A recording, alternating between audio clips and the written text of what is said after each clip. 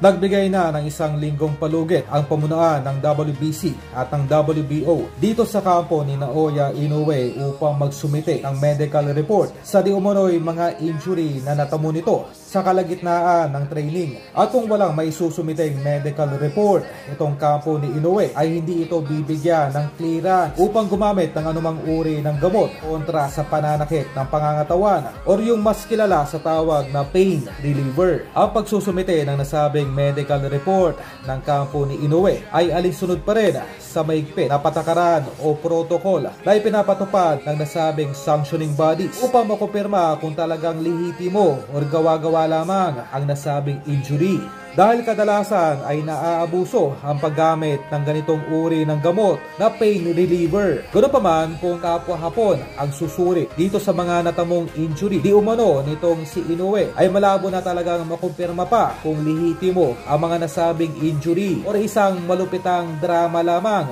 upang makapagpaturok. Sa kabilang banda ay nababalita ngayon ang abot langit na kasiyahan nitong ating kababayan at bagong Unified Super Bantamweight Champion Marlon Tapales. Dahil halos kumpirmado na ang susunod na makakalaban nito na walang iba kundi si Inoue. Dahil kung mabigo man itong si Fulton kontra Inoue ay isang daang porsyento nang isusunod agad itong the Japanese Monster ang ating kababayan na si Tapales upang gumawa muli ng panibagong kasaysayan bilang U-Division Undisputed Champion sa buong Asia.